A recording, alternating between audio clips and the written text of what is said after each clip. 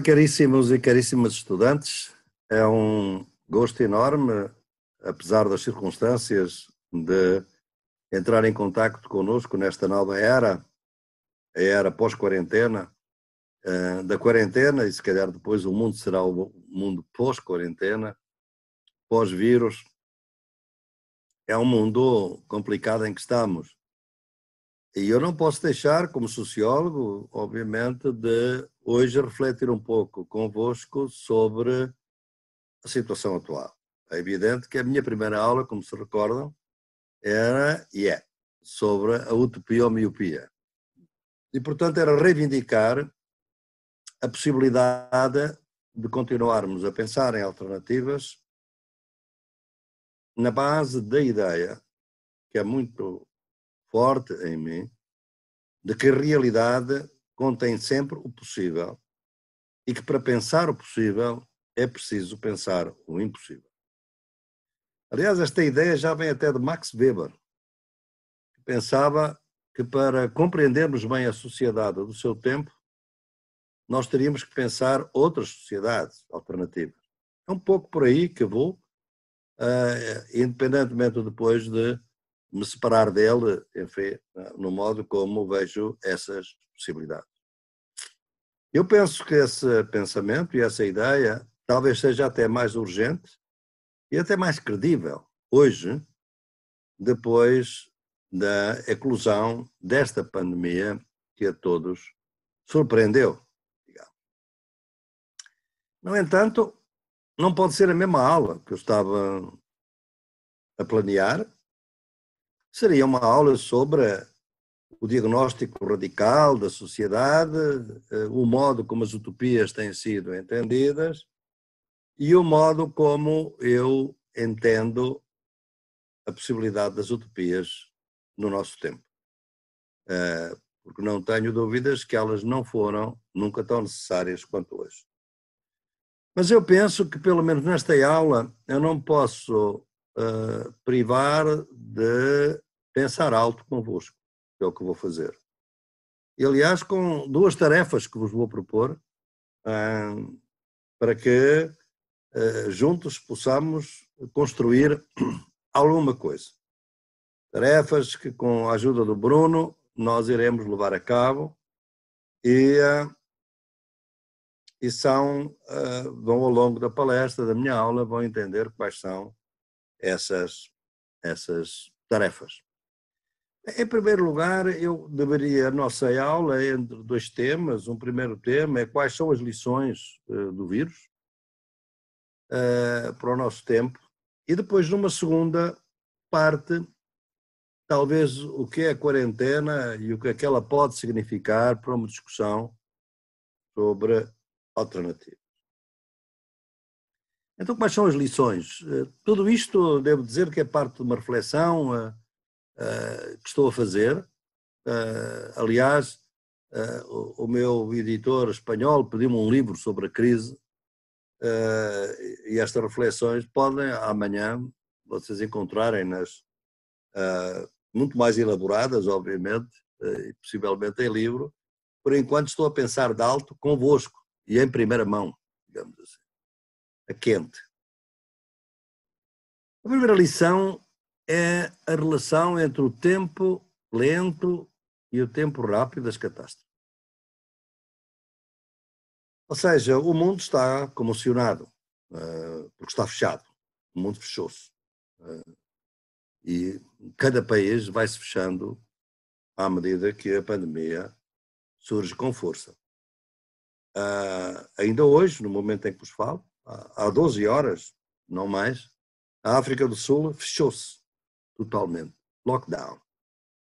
E eu recebi mensagens de áudio e de, de amigos e amigas da África do Sul, essa nova experiência eh, que fez com que dramaticamente, antes de, do encerramento de, da África do Sul, os imigrantes moçambicanos tiveram que fugir, sair o mais rapidamente possível antes da meia-noite. Uh, chegaram a Moçambique agora 23 mil moçambicanos. A possibilidade de estarem infectadas é alta. Não há possibilidade de os testar.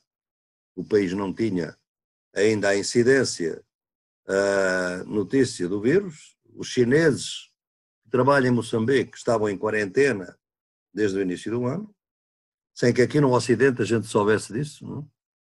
É, e agora, de repente, o país está indefeso. Uh, os portugueses, por exemplo, só para mencionar, também que estão na África do Sul, também não podem sair a partir de agora. E, portanto, estamos numa situação, eh, portugueses, espanhóis, europeus em geral, não? até porque em África, de alguma maneira, esta foi mais um caso em que uma epidemia foi levada pelos europeus. E vejam que não é novo. Obviamente por acaso, individualmente, mas desde o século XVI que os europeus levaram epidemias para o Novo Mundo, nomeadamente a varíola.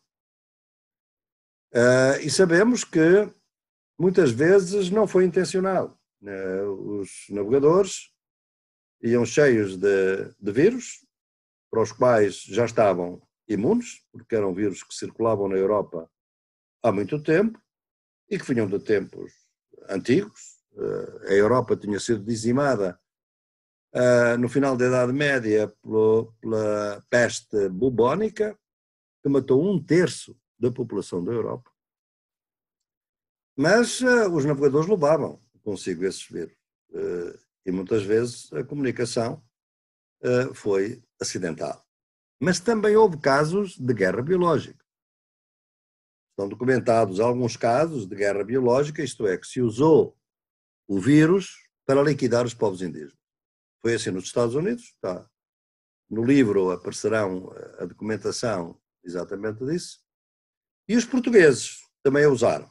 Pelo menos está documentado um caso que foi de a tentativa de envenenamento, de destruição de um povo indígena brasileiro um, através da, da oferta, tal e qual como fizeram nos Estados Unidos, a oferta de roupa uh, que vinha de hospitais ou que estava de gente infectada com a varíola. E como os indígenas não estavam preparados, nem imunes à varíola, uh, morreram. E morreram em grande massa. A estatística do México é terrível. Uh, portanto, temos aqui mortes acidentais e mortes propositadas. É claro que os europeus que levaram para a África os, o vírus uh, e se calhar até para outros continentes, também o fizeram sem querer, nem sabiam que eram portadores. Uh, e, e naturalmente não terão sido apenas os europeus, provavelmente também os chineses, e uh, sul-coreanos, tailandeses, etc. Portanto, uh, a primeira questão é que a comoção do mundo é grande, mas agora vejam, nós estamos numa situação se prolonga já há muito tempo, que até se defina hoje uh, como antropoceno, em que desde o século XVIII, nós, sobretudo desde o século XVIII, nós estamos vindo a fazer uma agressão contínua à natureza, através do modo como a exploramos e impedimos a restauração dos ciclos vitais, o modo como interferimos com a vida dos animais, uh, o modo como desmatamos, desflorestamos, para fazer espaço para a agricultura industrial.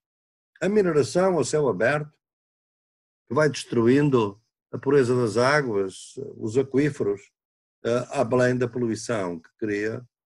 Todo este modelo de desenvolvimento tem sido um modelo de desenvolvimento, chamado de desenvolvimento, mas é destruição massiva da natureza, tem criado um desequilíbrio uh, em todas as espécies, uh, que cada uma tinham o seu modo de vida e certamente independente, eh, mas que com esta interferência brutal na vida da natureza, agora concebida como o grande, a grande mãe em que nós próprios estamos inseridos, a natureza não é exterior, se calhar a primeira lição é essa, a natureza, nós somos parte da natureza, não é a natureza que nos pertence, nós é que pertencemos à natureza, como eu sempre digo. Acho que agora é mais claro do que nunca. Mas a verdade é que esse modelo tem vindo a agravar-se ao longo destes séculos. E temos outras manifestações. Por exemplo, a poluição atmosférica. segundo dados das Nações Unidas, o ano passado terão morrido 7 milhões de pessoas só por causa da poluição atmosférica. Isto é, pessoas que morrem, que podiam não morrer, as doenças eram evitáveis, ou por acidentes, ou por guerras causadas exatamente pela desertificação, secas, pelas inundações, enfim, por tudo aquilo que tem a ver com as alterações climáticas. Mas isso quase que não é notícia, não altera a política dos governos, não, não são chamadas nenhuma reuniões de emergências dos conselhos de ministros, apesar de ser uma letalidade enorme. Portanto, a primeira coisa que a gente tem de ver é como é que as crises agudas são sentidas socialmente de uma maneira muito diferente que as crises crónicas. Esta crise das alterações climáticas é nitidamente crónica. E, obviamente, que as duas crises estão relacionadas. Como vos disse, eu penso que esta pandemia é uma certa vingança da Terra em relação às atrocidades eh, que temos vindo a cometer em relação a ela. É uma defesa também da Terra, provavelmente, tal e qual como os furacões, tal e qual como os tsunamis, tal e qual como as inundações, tal e qual como as chuvas fora de estação, tal e qual como as secas e a desertificação. Portanto, temos que ver como é que eh, política, social e culturalmente nós olhamos para as crises agudas e as crises crónicas. Ou seja, os monstros, quando se tornam muito familiares, deixam de o ser. Nós familiarizamos-nos com eles e vivemos com eles. Vamos nos defendendo aqueles que podem, Uh, vamos procurar o ar livre, muitas vezes sem termos consideração daqueles que não o podem procurar. Muitos dos imigrantes que morrem no Mediterrâneo uh, fogem a guerras, obviamente, mas fogem também às alterações climáticas, à desertificação que se dá, está a dar entre a África úmida e a África do Norte, seca, do deserto. E o deserto está a avançar. E avança lá, como avança também na Europa. Portugal, por exemplo, tem uma zona vulnerável, que é o Alentejo, que está neste momento também sujeito a processos de desertificação. Portanto, a primeira lição é pensarmos como é que uh, o prazo curto das crises agudas uh, tem uma percepção social muito diferente do que o prazo longo das crises crónicas. Uma segunda lição é que todos nós olhamos para as pandemias e elas tornam-se, obviamente, mais assustadoras porque, como se tem dito, o vírus não discrimina. Ah, e o facto, por exemplo, em Portugal, que a segunda vítima mortal da pandemia foi o executivo de um banco muito grande, em Portugal, o Banco Santander, criou a ideia que ricos e pobres, eh, brancos e negros, homens e mulheres, estão todos sujeitos da mesma forma ao vírus. E é verdade, de alguma maneira isso é verdade. Ainda agora acabamos de saber que o primeiro-ministro da Inglaterra está contaminado, Boris Johnson. Uh, a verdade é que, em termos agregados, o vírus discrimina. Porque há pessoas e grupos sociais pela sua vida, pela discriminação a que estão sujeitos. Pessoas que sofrem mais fortemente as dominações, que, como sabem, no meu trabalho são as três dominações da modernidade contemporânea, o capitalismo, o colonialismo e o patriarcado, os corpos explorados para além do que é possível, os corpos racializados, os corpos sexualizados, são corpos muito mais vulneráveis pela sua vida a, a contaminação, por exemplo, a, do vírus. A, estão menos bem defendidos da prevenção. Olhem para as recomendações da, Ordem, da Organização Mundial de Saúde e vejam se grande parte da população do mundo as pode seguir. Isolamento social. Tentem imaginar o que é o isolamento social numa favela. Ou num campo de refugiados aqui na Europa. Ou numa prisão É muito difícil. As pessoas vivem coladas uma à outra. Eu, num texto que talvez tenham visto, eu falava do campo de Mória, na Grécia, onde em 3 metros quadrados vive uma família de 5 pessoas. E lavar as mãos? É preciso que haja água. E se não houver água? Ora, uma boa parte da população não tem água. Não é água potável, é água mesmo. Não? É? E sabão? Teremos o sabão, claro, é evidente que para este, para este vírus e para o controlar, para destruir essa camada de gordura que ele tem, através da qual penetra nos corpos, a cinza pode fazer o trabalho do sabão. Mas uh, muitos também nem isso têm. Portanto, as recomendações são feitas para uma população que se pode defender. Há populações que não se podem defender. E quando uh, as pandemias ocorrem, também não é indiscriminadamente que o tratamento ocorre. Quem é que é testado, quem não é testado, quem é que pode pôr-se em quarentena, eu próprio, o Bruno, estamos em quarentena, temos... isso é um privilégio extraordinário. Quantas pessoas não andam aí fora a tentar ganhar a vida agora? Por exemplo, entregando comida. Os Uber Eats, por exemplo uh, os vendedores ambulantes, pateticamente na rua, à espera de alguém que venha e não vem. Portanto, as pessoas expõem-se mais e podem se defender menos. Eu vou tratar disso um pouco mais adiante, de maneira que fico-me por aqui só para vos chamar a atenção disto. A terceira lição é que o capitalismo não tem futuro pelo menos o capitalismo, na forma neoliberal, dominada por capital financeiro, não tem futuro. E não tem futuro, fundamentalmente, porque nós vemos que neste momento, perante uma pandemia como esta, era preciso que houvesse, não num país, mas em todos, um sistema de saúde pública robusto, forte, capaz de responder a uma emergência deste tipo. E muitos países já tiveram esse sistema. Não muitos, mas alguns na Europa tiveram. Mas desde há 40 anos passou a dominar a versão mais antissocial do capitalismo, que é o neoliberalismo, e dentro do neoliberalismo a sua versão ainda mais perversa, que é o neoliberalismo dominado pelo capital financeiro. Que não sabe o que é gente. Quer é lucro e lucro a curto prazo. E quer lucro em todas as áreas possíveis e, portanto, procurou transformar no modelo de negócio capitalista todas as políticas sociais, nomeadamente a saúde, a educação, a segurança social, passaram a ser grandes, grandes áreas de investimento privado e altamente lucrativo, no caso da saúde, por exemplo, até na educação universitária. E todos vocês viram como em vários países começaram a surgir os hospitais privados, seguros de saúde uh, e, obviamente, as universidades privadas. É?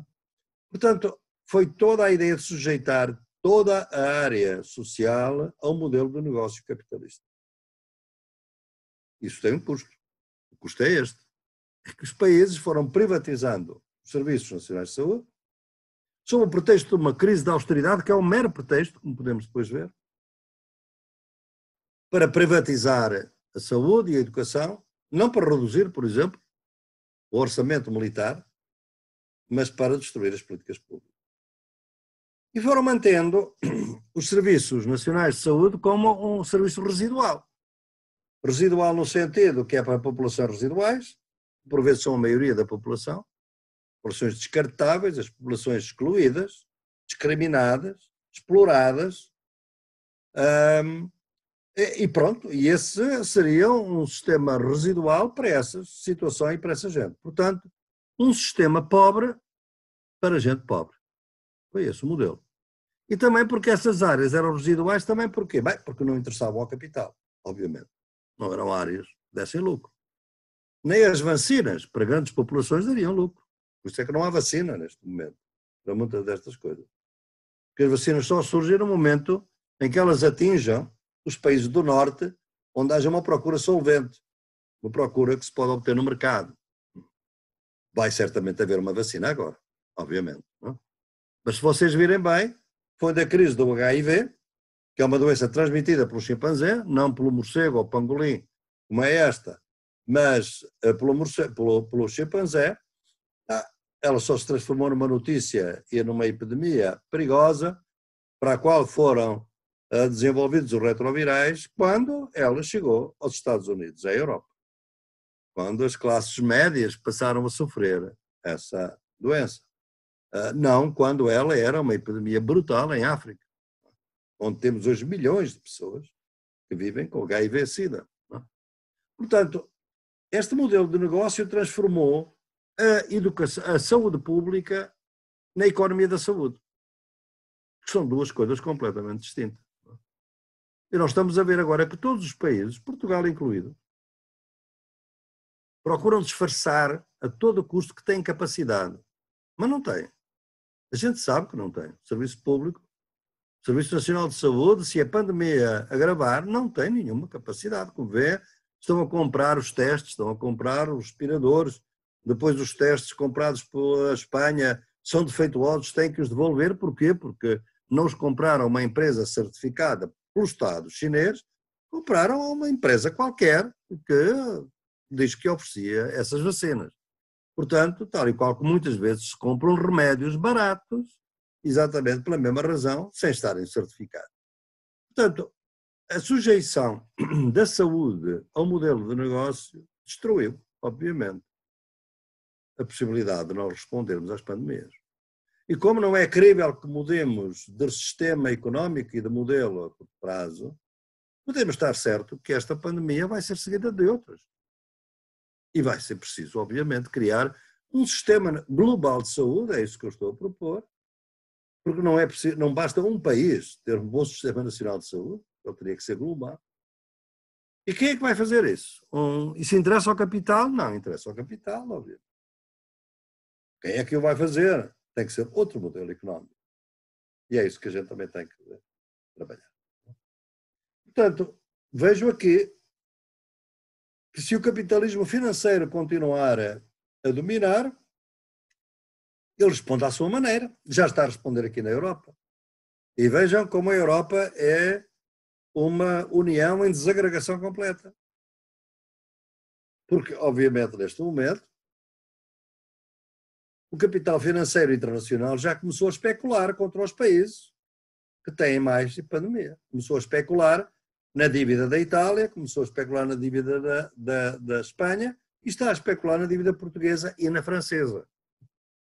Portanto, os países mais atingidos pediram uma solução excepcional, que eram os chamados eurobonds, são obrigações europeias, mas os três países de extrema-direita, de direita da Europa, recusam-se, a Finlândia, a Holanda e a Áustria.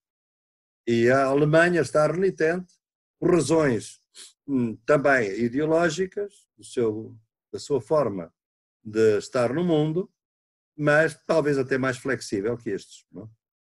Isto pode ser o fim da União Europeia. Obviamente. Se não houver eurobonds, eu acredito que seja o fim. E dá-se razão, portanto, ao Brexit. Quer dizer, era a altura agora que a União Europeia podia dizer Viram? Não, não pode haver mais Brexit. Veja o que acontece à Inglaterra. Uma crise enorme e não tem a proteção que a União Europeia dá. A União Europeia não está a dar proteção. Até há pouco tempo, agora terminou um pouco, parece que vai dar algum apoio, não é aquele que é necessário. Até há pouco tempo a China estava a apoiar mais a Itália do que a União Europeia. Portanto, é esta a situação em que a gente se encontra. E o primeiro-ministro português, honra lhe seja, Ontem dizia que a atitude desses países que recusam os eurobonds é uma atitude repugnante, o que mostra bem a gravidade da situação. Portanto, eu penso que uh, nós estamos numa, num momento em que, numa emergência, é possível fazer coisas que não são possíveis noutra altura, mas revelar certas coisas que são muito duras para o futuro do capitalismo. Portanto, a outra, a próxima lição, eu já vou perdendo o conto das minhas lições, deve, deve ser a quarta, provavelmente, é que é a quarta, não é? Então, é, é que a extrema-direita e a direita neoliberais estão definitivamente desacreditados. Ou pelo menos espero eu que estejam definitivamente desacreditados. Porquê? Porque nós achamos que os países mais atingidos pelo neoliberalismo, onde este modelo de negócio mais se agravou, são os países que estão a fazer a política mais assassina que se pode imaginar, que é seguir a lógica do modelo de negócio, é que as pessoas que não interessam ao negócio também não interessam à vida. São pessoas descartáveis. Chamamos a isso o darwinismo social. Está aí exatamente no terreno. O próprio Boris Johnson admitiu isso no início. Pode ser que isso lhe tenha custado caro. Dizer, não, mas a economia não pode parar e, portanto, pois, há de haver gente que morre. Sempre a pressuposto que aqueles que morrerem são os que são menos importantes para a economia. Por exemplo, os idosos já não gastam muito. Ou são, ou são um, um, um fardo para a segurança social. E, portanto, é a ideia de que a economia está por cima das pessoas. Como se a economia pudesse florescer sobre um mundo de corpos, de cadáveres. Mas é assim que eles pensam. E não foi apenas a Inglaterra. Foi assim o Trump e a figura caricata do Bolsonaro. A mesma coisa. Quando eles dizem que é preciso que a economia se aguente e garantir a economia é garantir as empresas, não é garantir a vida. E, não, e são absolutamente estultos, são insanos nessa política. Não são loucos, ao contrário de um vídeo que eu transmiti no Brasil eu falei de loucura no sentido metafórico, porque é imbecilidade total, mas não é louco. É uma política planificada de destruição da vida em nome do neoliberalismo, basicamente. Que morram os das favelas, que morram os velhos, não interessam, desde que a economia continua. Portanto, a economia por cima, e isso é interessante porque é ver, é que do ponto de vista económico, eles preocupam-se fundamentalmente com financiar as empresas não financiar o rendimento. E aqui há uma certa diferença, que é importante ver, que a diferença entre a esquerda e a direita, que é a quinta lição, que tem limites, tem limites, e já vou dizer quais são os limites, mas que se nota aqui a possibilidade de, pelo menos, que os países de direita ou de extrema-direita puseram inequivocamente a economia acima da vida. E, portanto, não cuidaram dos rendimentos daqueles que vão ficar sem emprego. Vejam, por exemplo, nos Estados Unidos, na semana passada, é uma coisa sem precedentes. Na semana passada, 3 milhões de pessoas foram para o desemprego. 3 milhões. Vamos ver qual será o ritmo nas próximas semanas. Isto nunca aconteceu. Aconteceu na crise de 29, mas não aconteceu mais. Como é que uma economia pode funcionar? São 3 milhões de desempregados, com um sistema de segurança social completamente falido nos Estados Unidos, onde os subsídios de desemprego é muito pouco tempo, como é que a economia se pode aguentar se as pessoas não têm dinheiro para comprar? Se os corpos mortos não entram em supermercados. Compreende? E, portanto, a Índia é a mesma coisa. Modi manda fechar o país, lockdown interno nos vários estados. E os 400 milhões de informais? Que não têm proteção social nenhuma, não têm seguro, não têm nada, não têm salário. O que é feito deles? Qual é o rendimento? Aqui notamos que, de facto, por exemplo, no caso da Espanha, no caso de Portugal, no próprio caso da Itália, eh, há uma preocupação de manter os rendimentos. Seja totalmente, seja no caso de Portugal, 66%, na Espanha, até 950 dólares, 50 euros, mesmo para aqueles que podem depois ser mais, obviamente, mas portanto andam à volta do salário mínimo, um pouco abaixo do salário mínimo nacional, manter rendimentos, ou seja, uma preocupação com os trabalhadores. Eu acho que isto deve ser relevado, porque amanhã vamos voltar a ter a extrema-direita a gritar nas ruas e a direita neoliberal, e temos que lhes dizer que no momento em que foi preciso defender a vida dos cidadãos, eles não estiveram lá. Eles estavam renitentes. Eles não queriam políticas desse tipo. Estão a ver?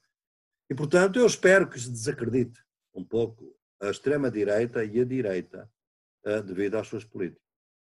Independentemente do regime, os países sejam mais ditatoriais democraticamente, ou menos ditatoriais, se não estiveram penetrados pela lógica neoliberal, reagem melhor à, à pandemia. Resolvem mais facilmente. E dou-vos os exemplos. É o caso da China, eh, que, enfim, que do meu ponto de vista é uma ditadura, um país de partido único, mas também a Taiwan e também a Coreia do Sul, que não são ditaduras e que responderam muito bem. E depois temos o caso especial, difícil de catalogar, que é Singapura. Uh, foram países que responderam rapidamente e com alguma eficácia uh, à pandemia. Claro que isto mostra que a esquerda tem uma maior preocupação com, na minha análise, pelo menos na Europa, onde o sentido de esquerda e direita continua a ter algum sentido, e também nas Américas, não sei qual é a relevância dele a nível global, essa distinção, como sabemos. Sabemos que há um limite porque há o direito da vida, que é o direito à vida não se conhece esquerda nem direita. Não? E de alguma maneira, toda a esquerda foi da direita, de um ponto de vista da natureza. Como vocês sabem, eu sou um homem das epistemologias do Sul, e portanto eu tendo a analisar isto, como vamos ver na segunda parte, a partir do Sul. Se eu me puser a pensar como a natureza pensa, a natureza pensa que não há esquerda nem direita, porque os governos de esquerda seguiram o mesmo modelo de desenvolvimento extrativo da natureza com a mesma violência eh, desde sempre. E, particularmente, desde que a esquerda e a direita passaram a governar diferentes países a partir do início do século XX, como vemos, é? Com a Revolução Russa, a Revolução Chinesa, etc.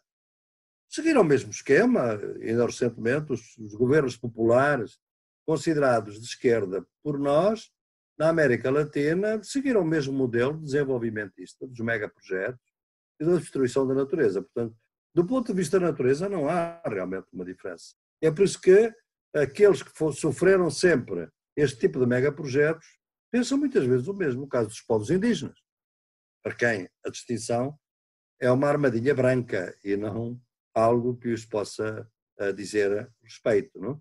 Mas nota-se essa diferença. Claro que há casos que complicam o esquema. Talvez aquele que me tem complicado mais este esquema é o André López Obrador, no México. Um homem que aparece por centro-esquerda, preocupado, enfim, eh, com, a, com política é realmente um neoliberal no desenvolvimento, como foi Lula, como foram uh, também o Evo Morales, ou a Cristina Kirchner, mas é um homem com mais preocupação social. Acontece que ao contrário do que os cientistas do México lhe dizem, ele está a ter a mesma atitude do Boris Johnson e do, e do Trump, que a economia não pode parar, a economia popular, são as pequenas empresas, as pessoas têm que continuar a trabalhar, mas podem continuar a trabalhar em condições que se contaminam totalmente. É, obviamente, uma loucura este tipo de raciocínio. Portanto, as coisas estão muito instáveis no que domina, no que respeita ao tipo de regime e à atitude esquerda-direita. É outra lição que o vírus nos dá. A sexta lição é o regresso do Estado. Afinal, o Estado era corrupto, o Estado é predador, o Estado é ineficiente. Vem uma crise deste tipo e os mais empedernidos neoliberais pedem que o Estado atue, que os serviços de saúde atuem, que as polícias atuem, que as regras sejam cumpridas, que as pessoas sejam protegidas mas não são protegidas pelo mercado. Mas eu tinha a ideia que o mercado é que era o grande racionalizador da vida. Não, o mercado não protege vidas. O mercado protege lucros capitalistas, nada mais que isso. Portanto, se vir os meus livros, até mais anteriores, raramente hoje se lê os meus livros anteriores às epistemologias do Sul, dos anos 90, a crítica da razão indolente, a gramática do tempo, por exemplo, é, e outros que eu escrevi nessa altura, falar das portuguesas, depois há versões espanholas, inglesas, desses textos. Eu sempre falei no To Ordem Common Sense, que é de 90 e pouco, 95, em inglês. Eu sempre falei que são três os grandes princípios da regulação. Tem que fazer assim, não é? Da modernidade, o capitalismo, o colonialismo e o patriarcado. Uh, são esses três modelos. Portanto, uh, o mercado é exatamente o mercado, o capitalismo, o Estado e a comunidade. E procurou sempre que houvesse um equilíbrio, até que há 40 anos para cá criou-se um desequilíbrio. O Estado é corrupto, a comunidade não interessa e é o mercado. O mercado foi o que transformou a educação e a saúde no negócio. E as consequências são estas. Os países aflitos. Os Estados Unidos, o grande país mais desenvolvido, está a procurar por todo o mundo que lhe vendam não só os respiradores, e sobretudo esse mundo é a China, em grande medida, e que lhe vendam produtos para limpeza de mãos. Porquê? Porque aquilo que não dava lucro não estava na agenda das empresas de saúde, obviamente. Portanto, é o país mais desprotegido, é o país do terceiro mundo neste momento. Aquele conceito que a gente tinha do terceiro mundo, países menos desenvolvidos, olhem para os Estados Unidos, perante esta crise. Inverte-se aqui a concepção de desenvolvimento. Se desenvolvimento é proteção, bem, então, é, obviamente, os Estados Unidos não protegem de maneira nenhuma as suas populações. Portanto, o Estado volta, mas o Estado não pode voltar de várias formas. E eu penso que o que também é interessante, e que será uma outra uh, lição, esta é a número 6, não é? parece, do Estado e o resto com a comunidade, é que também se verifica que essa ideia abstrata, eu, aliás até já escrevi um texto que está que na gramática do tempo, ou em qualquer, sobre o homo económicos. Essa coisa horrível de considerar que o homem é um homo económico, que é um egoísta, só olha para o seu interesse pessoal e egoísta, e que ao, entrar, ao interessar-se só no seu interesse, uh, digamos, egoísta, resolve os problemas da sociedade. Isto é um erro total, mas é a concepção que preside a economia neoclássica. E, sobretudo, a economia neoliberal. O homem isolado, o, empreendedor, como se fala, que é aquele que está à frente e atrás da uberização da economia e da sociedade, um homem e uma mulher isolados, sem parentes, sem amigos, sem amizade, cada um lutar por si. E agora, perante uma pandemia, é possível? Não. As pessoas procuram os laços. Realmente, será talvez uma lição próxima, mais adiante, como eu estou a pensar alto nesta aula, são as redes sociais, que nós temos demonizado muito ultimamente por causa dos fake news e do importância e o impacto que tiveram em processos eleitorais e temos que continuar a fazer esse trabalho. A verdade é que as redes sociais se reabilitaram um pouco para muita gente agora. É a única maneira de se comunicar. Eu próprio não poderia comunicar convosco se não fosse esta tecnologia.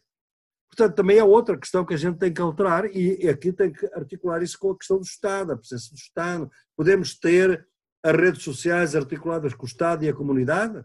Porque o que está a revelar-se é que as pessoas se procuram ser. Agora é que faltam. Agora é que lhes falta a família. Porque a família que tem no seu, na sua casa, quando a tem, é apenas a família nuclear, pais e filhos. Às vezes não estão os avós, não estão os primos, não estão os tios. É que noutros países, noutras cidades, não podem visitar, não podem visitar neste momento. Portanto, é a falta da família, dos amigos, da sociabilidade. Como alguém dizia recentemente, a gente nem sabia quanto era feliz, quando tudo parecia normal. Portanto, é muito importante que a gente veja que, de facto, o Estado volta e então agora quero saber se os neoliberais vão voltar a dizer depois da crise que o Estado é corrupto, ineficiente e não serve. Quando todos agora querem que o Estado dê uma resposta e queixam-se de que o Estado não está a dar a resposta adequada. Sempre dissemos isso. Tem que haver um equilíbrio. Eu não sou contra que exista uma economia capitalista na sociedade, mas ela não pode ser a única. Porque vocês vão comprar os vossos legumes, agora têm dificuldade em comprar. Legumes frescos, quem é que os produz? São capitalistas se vocês forem ao supermercado, sim, mas se forem ao mercado de Coimbra, se forem às feiras, em muitas cidades deste mundo, são pequenos produtores. É, é gente que não podemos considerar realmente grandes capitalistas. É a economia familiar, a economia camponesa, a economia indígena, a economia que não tem a lógica da acumulação infinita do capitalismo. 70% dos nossos alimentos vêm dessa economia. E, no entanto, só é protegida a economia capitalista, só é protegida a agricultura industrial em muitos países. A União Europeia só dá proteção e subsídios aos grandes agricultores europeus.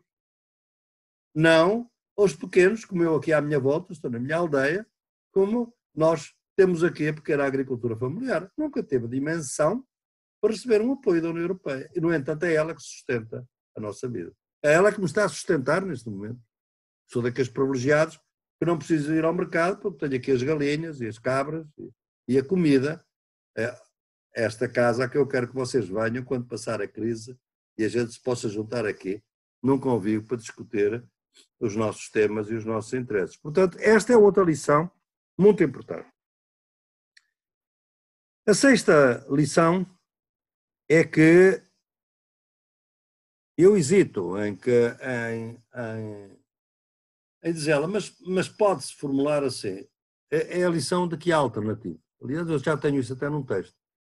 Essa ideia de que criou-se a ideia de que não há alternativa ao capitalismo,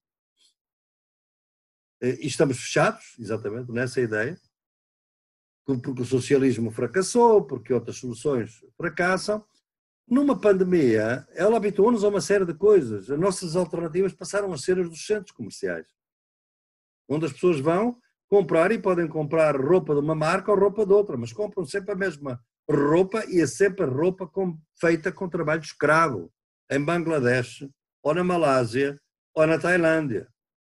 Mas porque é barata e interessa aos consumidores solventes. É? Habituámos-nos a isso. O terror de tanta gente. Essas mulheres que cozinham a vossa, que cozem a vossa roupa, preparam a vossa roupa, tendem a ficar cegas aos 30 anos, pela intensidade de estar à máquina a fazer os produtos que nós usamos. Eu mesmo hoje sou vítima disso. Tenho aqui isto da Adidas, não devia ter, mas a, a verdade é que eu vim para o campo e não trouxe roupa, quase, quase. E agora não quero ir à cidade. É outra mudança. Lava-se, mas obviamente não tenho grandes opções. De maneira que eu quase tenho vergonha de ter aqui este logo aqui no peito quando digo estas coisas. São contradições que todos nós temos na sociedade. Não vou mortificar com isso, mas sou suficientemente lúcido para as notar, obviamente. Sou produto desta sociedade, obviamente. E produtor dela também, ainda que relutantemente. Não é? Mas, portanto, a ideia de que a alternativa, pois claro, as pessoas podem ter mais tempo, a gente teve até agora a ideia de que não tínhamos tempo das múltiplas tarefas em que a gente tem. Como eu costumo dizer, a sociedade contemporânea transformou o tempo em falta de tempo. A gente gera falta de tempo, não gera o tempo já. E por isso nunca está a tempo para nada. E nunca tem tempo para nada que não seja essencial àquilo que nós consideramos essencial aqueles, os mais jovens como vós, aqueles os millennials, que nasceram a partir dos anos 90 e dos anos 90, vivem muito esse, esse drama de realmente as suas opções foram tomadas por exclusivamente aquilo que é necessário para a sua sobrevivência, para conseguir uma formação, para conseguir um bom emprego, que muitas vezes não vem, mas as pessoas lutam por isso. E, portanto, tem que deixar de lado. Tem-se feito estudos interessantes do que é que as pessoas deixam de lado. Coisas absolutamente triviais. Lavar roupa, por exemplo. Vão acumulando, porquê? Porque não é estritamente naquele dia eu tenho que fazer outras coisas. Bem, de repente as pessoas ficam em casa e têm tempo. Agora têm que matar o tempo. Enquanto na sociedade nós somos mortos pelo tempo, agora temos que matar o tempo. É a inversão. Portanto, a alternativa, a sociabilidade é elástica. O ser social, o ser humano é um ser elástico mas foram-nos dito uma certa rigidez. Nós podemos andar exatamente sem o supermercado. Podemos ir ao supermercado no que é essencial, mas não precisamos de shopping centers, passar os dias no shopping centers, nos centros comerciais.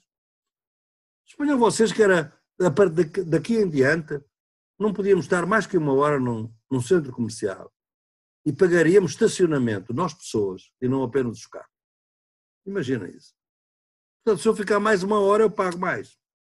Claro, se dirá, pois claro, quem tem dinheiro fica lá todo o dia, quem não tem dinheiro tem que ir para casa. Podíamos encontrar outras formas, é? Mas é verdade que isto é possível.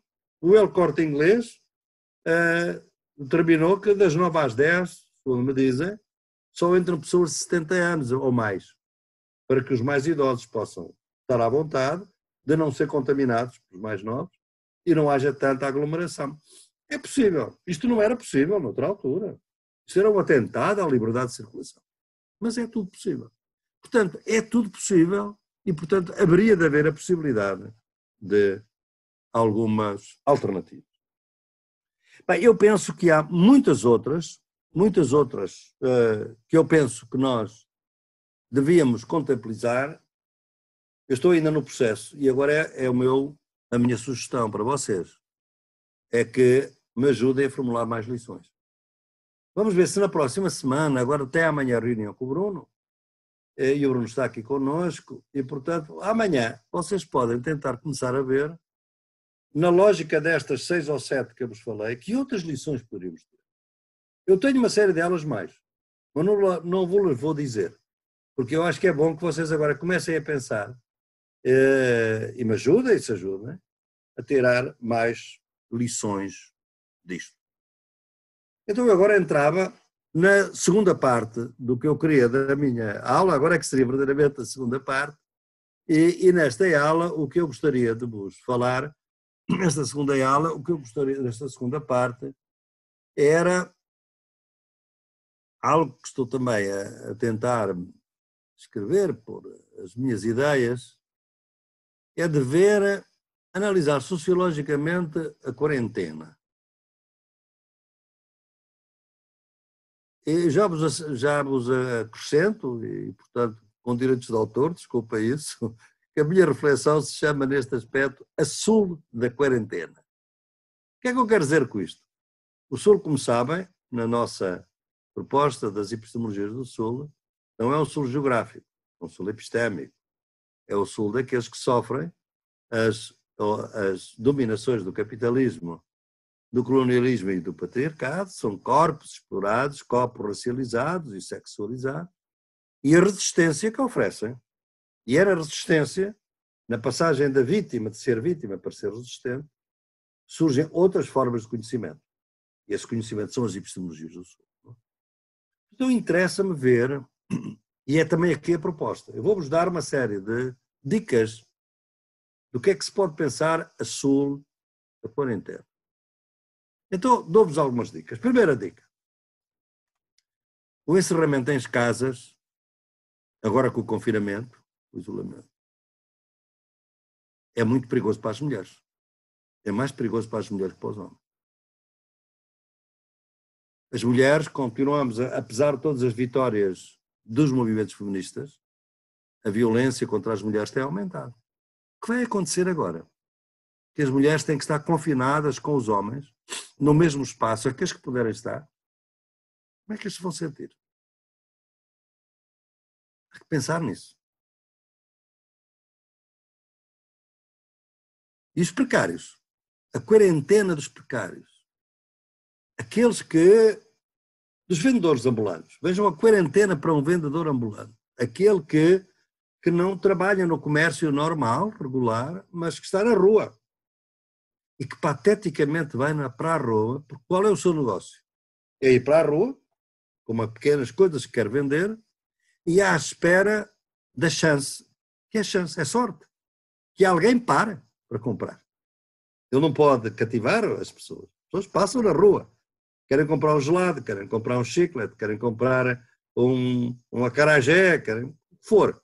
Uma comida, dependendo dos países, e agora? Estão confinados na rua sozinhos? É a quarentena deles é a rua deserta? Ou é a casa que provavelmente não tem? E o que é quarentena para os sem-abrigo? Aqueles sem-abrigo que vivem nos canais de água subterrânea de Los Angeles, ou de Barcelona, ou de Madrid, são agora mais seguros contra, contra a epidemia? Do que eram antes? Os que estão nos campos de refugiados são milhões neste momento. Nós temos tanto refugiado no mundo como temos hoje. Vivem em lugares absolutamente uh, fechados, proximidade. Como é que se podem isolar neste contexto? Não têm condições para se isolar. Os idosos os idosos, também não é fácil para eles a quarentena. Porquê? Porque precisam do ar livre, precisam do, do apoio de outras pessoas. Quem é que tem que violar a sua quarentena para proteger aqueles que estão de quarentena? Tem que entregar comida.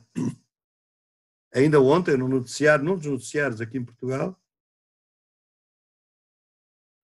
a notícia da Madrida.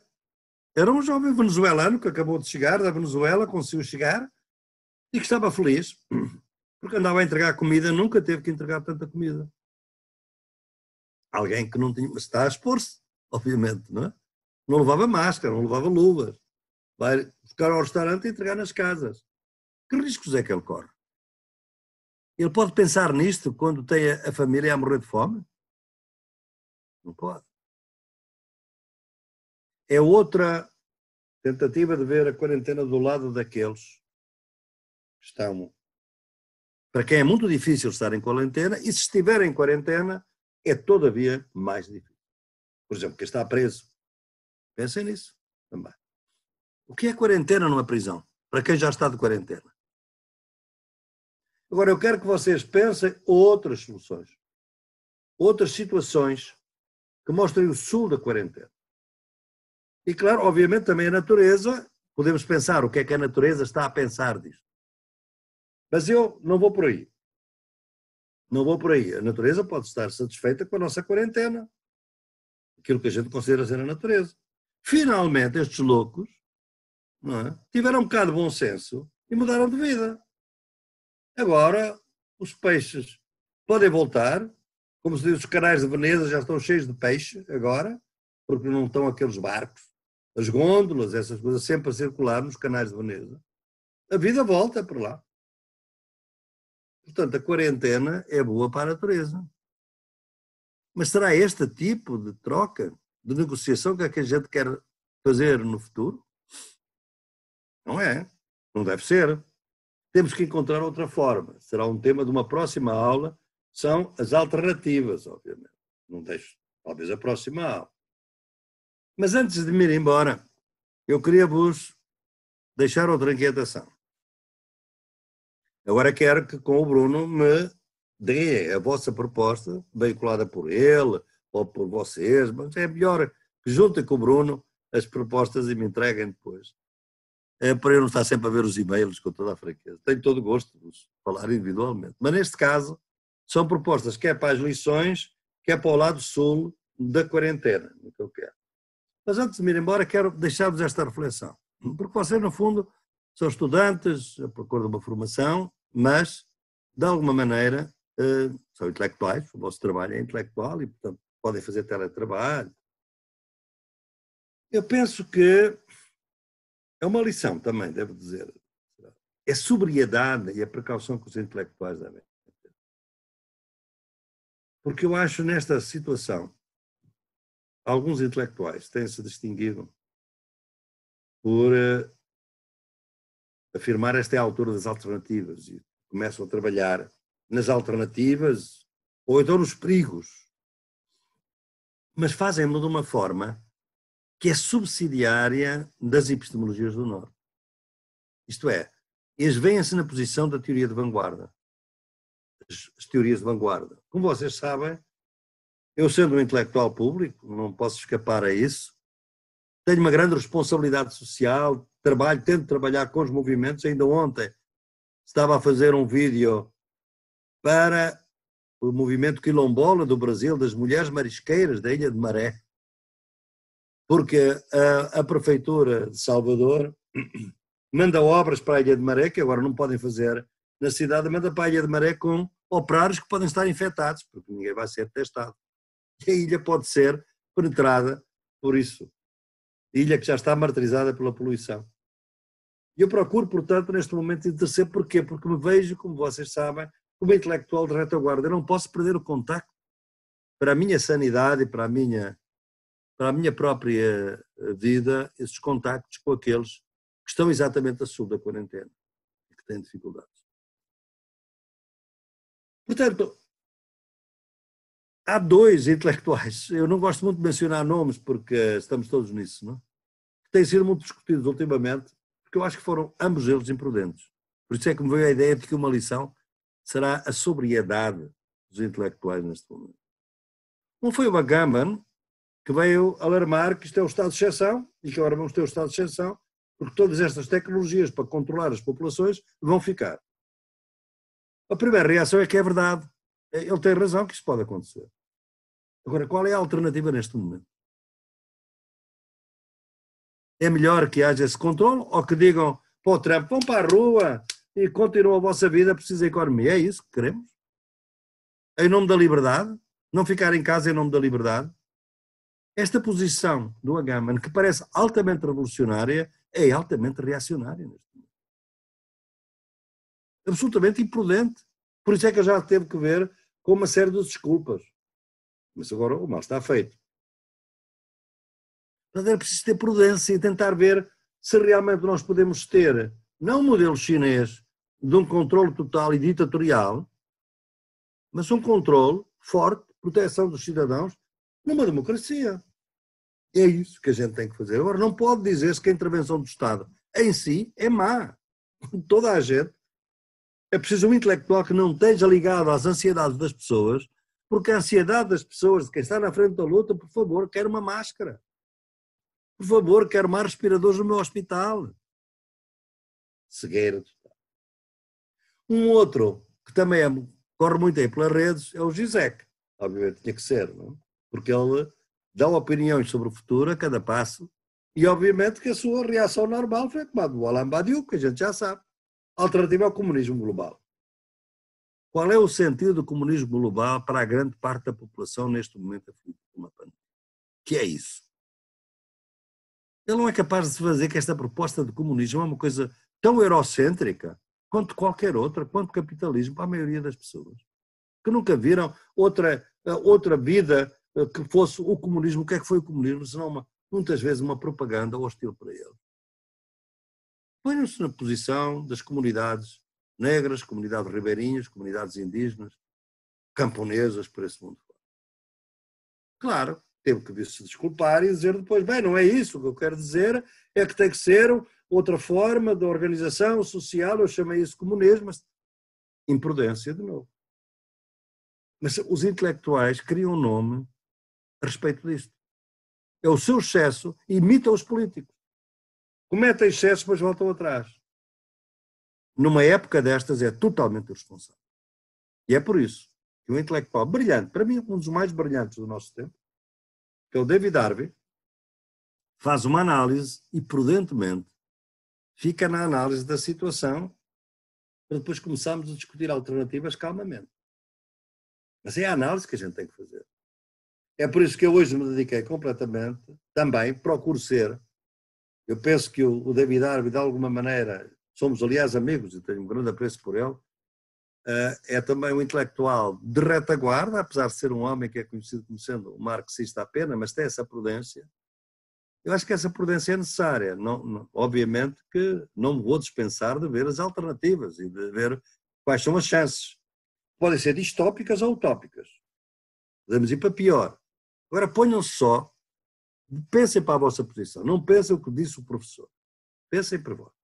Qual é a vossa primeira reação quando saírem da quarentena. É voltar ao café, é voltar ao centro comercial, é ir para, ir para o restaurante, é estar com a família, é voltar, é voltar, esperando sempre que o mundo está na mesma. Isto não parou, não ficou pior. A gente já não espera que o mundo esteja melhor. A gente quer é que esteja tudo na mesma. A gente, nós, que nos protegemos na quarentena. E aqueles que não se protegeram? Daí o sul da quarentena. O que é que vão pensar? Podia ser uma oportunidade para melhorar a vida deles, mas nós não vamos pensar nisso. Nós vamos pensar é nossas. E é isso que o capitalismo se vai aproveitar. As pessoas, afinal, querem o mesmo. É nessa altura que a gente deve ter alternativas para politicamente as tratar. Isso não vai ser fácil. Mas, portanto, eu vou-vos falar delas, obviamente, também estou, obviamente estou a pensar nelas, mas o momento atual é um momento de prudência, reflexão, obviamente, e é o ideal que temos. Portanto, nós vamos continuar, espero que tenham agora umas boas discussões com o Bruno, estão aqui bem provocados a isso, e que contribuam também para a minha reflexão, uh, trazendo mais lições, questionando estas até, uh, e também mais posições e ilustrações do a sul da quarentena. Uh, é isso que eu quero e vamos seguir, obviamente, em contacto, nesta forma precária. Não podemos ir agora jantar ao casarão, que era o que eu gostava, e recitarmos poesia e conversarmos e cantarmos, mas viram tempos melhores, lá está, o melhor tempo é o tempo que a gente tinha, estão a ver? Portanto, os intelectuais como pessoas humanas normais não estão a pensar nas alternativas, estão loucos, loucos, para que voltem a ter as que ele tinha, porque nós somos aquela pequena percentagem da população mundial para quem a vida, apesar de tudo, nos sorri, com todos os problemas. Mas a esmagadora maioria da população não tem este estatuto. Respeitemos isso, pensemos nisso. reflitamos nisso. Um grande abraço para vocês e continuem, portanto, a usar este tempo da melhor maneira para pensar, para refletir uh, e então, sim, juntos começamos a lutar por uma sociedade melhor. Um grande abraço.